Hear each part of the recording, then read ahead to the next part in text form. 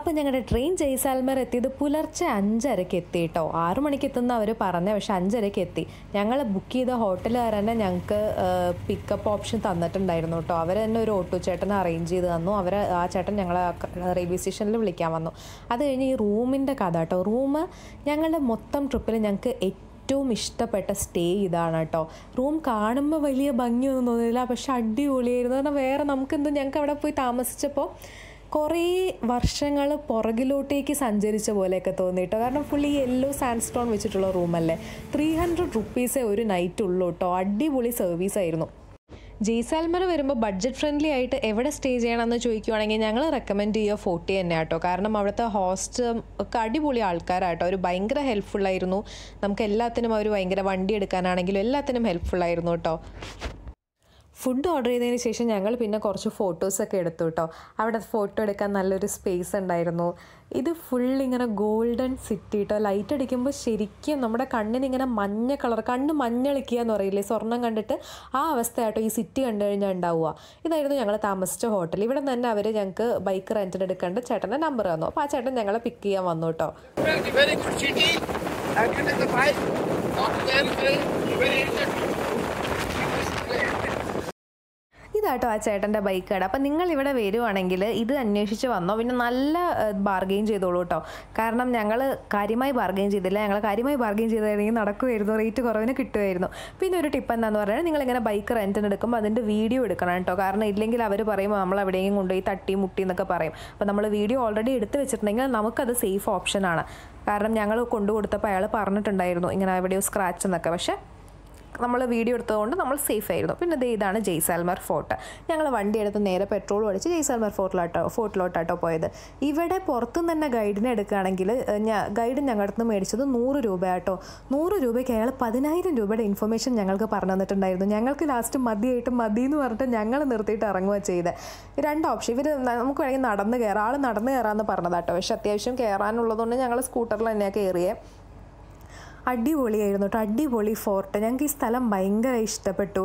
പിന്നെ എന്താ പറയുക എനിക്ക് തോന്നുന്നു ഈ വീഡിയോയിൽ അത്രയ്ക്ക് ഇത് ജസ്റ്റിഫൈ ചെയ്യുന്നില്ല ആ സ്ഥലം. കാരണം വീഡിയോ കാണുമ്പോൾ കുറച്ചുകൂടി ഒരു കൂൾ എഫക്റ്റ് തോന്നുന്നുണ്ട്. പക്ഷെ ഭയങ്കര നമ്മുടെ കണ്ണിന് ഇങ്ങനെ സൺലൈറ്റ് അടിക്കുമ്പോൾ ഇങ്ങനെ മഞ്ഞ കളറാണ് ശരിക്കും ഗോൾഡൻ സിറ്റി രാവിലെ സൺറൈസിന്റെ സമയത്ത് ഫസ്റ്റ് ലൈറ്റ് ഈ യെല്ലോ സാൻഡ്സ്റ്റോണിൽ ഹിറ്റ് ചെയ്യുമ്പോൾ ഇത് ഗോൾഡൻ കളറാവും അതുകൊണ്ടാണ് ഇതിനെ ഗോൾഡൻ സിറ്റി എന്ന് പറയുന്നത് കേട്ടോ ജയ്സാൽ വൈറ്റ് മാർബിൾ ചെയർ ആട്ടോ. കിങ്ങിന് ഇരിക്കേണ്ട ചെയർ ആണ് അത്. അതാട്ടോ. കിങ് പ്രജകളെ കാണാനിരിക്കുന്ന സ്ഥലം ബാൽക്കണി. അതിന്റെ താഴെ ഉള്ളത് നയന്റി നയൻ പീകോക്സ് എന്നാ പറയുന്നത് ഇത് ക്വീനിന്റെ ക്വീൻ ഇവിടെ നിൽക്കുക ആരും കാണാൻ പാടില്ല. ആരും കാണാൻ പാടില്ല. ക്വീനിന്റെ ബിൽഡിങ്ങിൽ ബാൽക്കണി ഉണ്ട് ആ കിങ്ങിന് ബാൽക്കണി ഒക്കെ ഉണ്ട് കേട്ടോ ഷോപ്പിംഗ് നോക്കുകയാണെങ്കിൽ ജയ്സാൽമറിലാട്ടോ കുറച്ചുകൂടെ ചീപ്പായിട്ടെല്ലാം കിട്ടുന്ന. ജയ്പൂർ വെച്ച് കമ്പയർ ചെയ്യുമ്പോൾ പിന്നെ ഈ ഫോർട്ടിന് ചുറ്റിപ്പറ്റിയാണ് ഒരുപാട് കാണാനുള്ള സാധനങ്ങളൊക്കെ ഉള്ളത്. ഇപ്പോൾ ജെയിൻ ടെമ്പിൾ ഇതിന്റെ ഉള്ളിലാണ് ഹവേലി ഉണ്ട് അത് ഇതിന്റെ ഉള്ളിലാണ്. താമസിക്കുന്ന സ്ഥലമാണ് ഈ ഏരിയ മൊത്തം. സ്ക്വയർ ഹിന്ദു കമ്മ്യൂണിറ്റി ഉണ്ടാക്കുന്നതും ഹാഫ് മൂൺ ഷേപ്പ് മുസ്ലിം കമ്മ്യൂണിറ്റിയുടെ ആണെന്നാണ് കേട്ടോ പറയുന്നത്. ഇപ്പോഴും അവിടെ ഒരുപാട് ആൾക്കാർ താമസിക്കുന്നുണ്ട് കേട്ടോ ജയ്സാൽമർ ഫോർട്ടിന്റെ പരിസരത്തൊക്കെ ആയിട്ട്. ഫോർട്ടിന്റെ ഉള്ളിൽ തന്നെ ആയിട്ട് അവർ അവരുടെ ഇങ്ങനെ ഓരോ ഹാൻഡിക്രാഫ്റ്റ് ചെയ്ത സാധനങ്ങൾ ഇതൊക്കെ വിറ്റിട്ടാണ് അവർ ജീവിക്കുന്നത്. പിന്നെ ദേ ഇതാണ് ജയ്സാൽമർ സിറ്റിയുടെ ഓൾഡസ്റ്റ് പാർട്ട് ഓഫ് ദി സിറ്റിയാണത് കേട്ടോ. എയ്റ്റീൻ സെഞ്ചുറി തൊട്ടുള്ള ടൈമിൽ ഇതിങ്ങനെ ഉണ്ടെന്നാണ് ഗൈഡ് ചേട്ടൻ ഞങ്ങൾക്ക് പറഞ്ഞു തന്നെ കേട്ടോ നല്ല വ്യൂ ആയിരുന്നു അടിപൊളി വ്യൂ ആയിരുന്നു കേട്ടോ അവിടെ കാരണം നമുക്ക് പിന്നെ ജയ്സാൽമർ സിറ്റി മൊത്തം കാണാം. റെയിൽവേ പാലവും എല്ലാം കാണാമായിരുന്നു അടിപൊളിയായിരുന്നു കേട്ടോ പിന്നെ ദേ ഇവിടെ ഇതുണ്ട് മറ്റേ പീരങ്കി ഉണ്ട് അത് മെറ്റൽ വെച്ചുണ്ടാക്കിയതാണ് എന്നാണ് പറയുന്നത്. പിന്നെ അവിടെ ഞങ്ങൾ നല്ല കാറ്റ് വരുന്നു കേട്ടോ. ഞങ്ങൾ കുറച്ച് നേരം നിന്ന് വ്യൂ ഒക്കെ കണ്ടതിന് ശേഷം ഞങ്ങൾ താഴത്തോട്ടേക്ക് ഇറങ്ങി. ഇറങ്ങുന്ന സമയത്ത് ഇങ്ങനെ ഓരോ കടയിലൊക്കെ കയറിയിട്ട് നമ്മളിങ്ങനെ എന്താ പൈസ ഒക്കെ ചോദിച്ചു കേട്ടോ. അപ്പോൾ- അപ്പോൾ മനസ്സിലായി ജയ്പൂരിനെക്കാളും ചീപ്പാണ് ജയ്സാൽമർ എന്ന്. കാരണം ഇവിടെ കുറച്ചുകൂടെ പാവപ്പെട്ട ആൾക്കാരാണ്. ഇവരുടെ ഇൻകം സോഴ്സ് എന്ന് പറയുന്നത് ഇങ്ങനെ ടൂറിസം ആണ് ഇവരുടെ ഇൻകം സോഴ്സ് പിന്നെ ദേ ഇതൊരു ജെയിൻ ടെമ്പിൾ അതിന്റെ ഉള്ളിൽ തന്നെ ഉള്ളതാട്ടോ ഫോർട്ടിന്റെ ഉള്ളിൽ തന്നെയാണ് അടിപൊളി ടെമ്പിൾ ആട്ടോ ഇത് ഇതിന്റെ ബിഹൈൻഡിൽ വലിയ സ്റ്റോറി ഉണ്ടാവും ഞാൻ സെപ്പറേറ്റ് വീഡിയോ ആയിട്ട് തന്നെ ഇടാം. ഇത് പിന്നെ ഹവേലിയാണ്. പണ്ടത്തെ റിച്ച് ആയിട്ടുള്ള ആൾക്കാർ വിൻഡ് ഹൗസ് ഉണ്ടാക്കും കാറ്റ് കൊള്ളാനായിട്ട്. അപ്പോൾ അങ്ങനത്തെ ഒരു വീടത് ഇവരുടെയൊക്കെ ഡോറ് കുഞ്ഞി ഡോറും വലിയ സ്റ്റെപ്പും ആയിരിക്കും. അപ്പോൾ അതിന്റെ റീസൺ പറയുന്നത് അറ്റാക്ക് വരുമ്പോൾ അതിൽ നിന്നൊക്കെ രക്ഷപ്പെടാൻ വേണ്ടിയിട്ട് ഒരു ടൈമിന് വേണ്ടി. ഇപ്പോൾ പെട്ടെന്ന് ആൾക്കാർക്ക് ഓടി കയറാൻ പറ്റില്ലല്ലോ ഹൈറ്റ് കുറഞ്ഞ ഡോറിലൂടെ വലിയ സ്റ്റെപ്പും ഹൈറ്റ് കുറഞ്ഞ ഡോറും ആകുമ്പോൾ ആൾക്കാർക്ക് ബുദ്ധിമുട്ടാവുമല്ലോ. അതുകൊണ്ടാണ് അവർ അങ്ങനത്തെ കൺസ്ട്രക്ഷൻ ചെയ്തിരിക്കുന്നത് കേട്ടോ.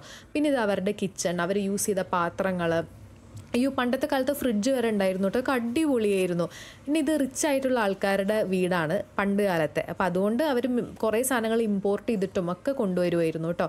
പിന്നെ ഇങ്ങനെ ഈ ഹവേലീസ് ഒക്കെ ഒരുപാട് നിലകളുണ്ട് കേട്ടോ.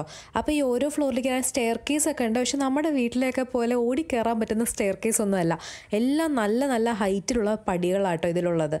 അതിന്റെ കാരണം പറയുന്നത് പ്രഗ്നന്റ് ആയിരിക്കുമ്പോൾ സ്ത്രീകളെ പുറത്തേക്ക് മറ്റേ വെള്ളം എടുക്കാനും അതിനൊന്നും വിടില്ല. ഇവർ ഉള്ളിൽ തന്നെയാണ് ഉണ്ടാവുക. അതേപോലെ ഒരു മാസം ഇവർക്ക് ഒരു പ്രഗ്നന്റ് ലേഡിക്ക് അഞ്ച് ലിറ്റർ നെയ്യ് കൊടുക്കും കേട്ടോ അവർ കൺസ്യൂം ചെയ്യണം അഞ്ച് ലിറ്റർ നെയ്യ് എന്നാണ് പറയുന്നത്. അപ്പോൾ ഈ അഞ്ച് ലിറ്റർ നെയ്യൊക്കെ ഒരാൾ ഒരു മാസം കഴിച്ചു കഴിഞ്ഞാൽ അത് ഒരുപാട് കൊഴുപ്പല്ലേ? അപ്പോൾ അത് ഡൈജസ്റ്റ് ചെയ്യിക്കാൻ തന്നെ ഇവർ വീടിന്റെ ഉള്ളിൽ തന്നെ ഇപ്പോൾ സ്റ്റെപ്പ് കയറി ഇറങ്ങുമോ അതൊക്കെ എക്സസൈസ് പോലെയാണല്ലോ. അപ്പോൾ അതുകൊണ്ടാണ് ഇവർ ഇത്ര ഹൈറ്റുള്ള പടികൾ വെച്ചിരിക്കുന്നത് എന്നാണ് ചേട്ടൻ പറഞ്ഞു തന്നെ.